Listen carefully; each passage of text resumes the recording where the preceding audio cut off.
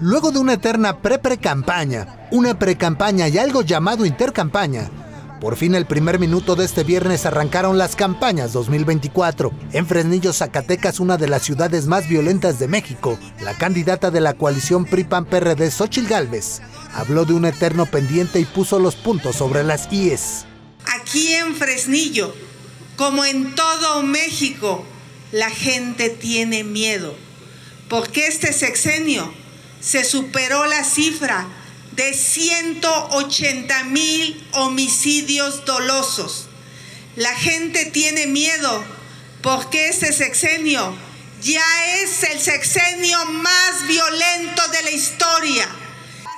También advirtió que de ganar se acabó la mano blanda para los delincuentes. Se les acabó el negocio.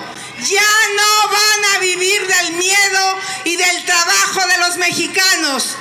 Vamos a construir una prisión de muy alta seguridad y con tecnología de punta para que los delincuentes tengan miedo de caer ahí y la piensen antes de cometer una atrocidad. Se les acabaron los privilegios a los delincuentes. Quien la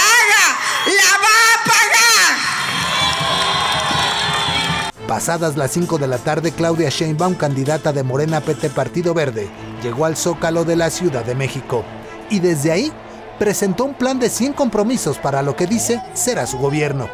Gobernaré con la obligada división entre poder político y poder económico. Nunca me someteré a ningún poder económico, político, que protesto ante ustedes no mentir, no robar y nunca traicionar al pueblo de México ni la dignidad de la República. Sufragio efectivo, no reelección. No debe haber reelección a ningún cargo de elección popular a partir del siguiente elección presidencial del 2030.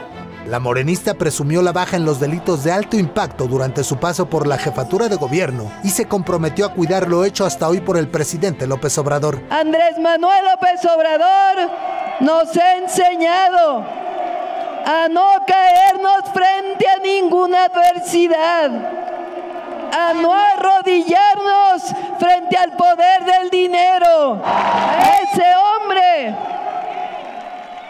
Andrés Manuel López Obrador, le decimos, vamos a cuidar su legado. Y el último en arrancar fue Jorge Álvarez Maínez de Movimiento Ciudadano. Él lo hizo después de las 7 de la noche en Lagos de Moreno, Jalisco. Vamos a tener un México próspero y los productores de leche de los altos de Jalisco, de huevo, los campesinos, los ganaderos, van a tener preferencia. Vamos a atajar, como decía Pablo Lemus, el peor de los problemas, de los horrores que tiene México, que es el problema de la violencia, de la impunidad de la seguridad. Así concluyó el primer día de los 90 que durarán las campañas. Con información de Irving Pineda, Gerardo Segura y Agustín Rodríguez, Fuerza Informativa Azteca.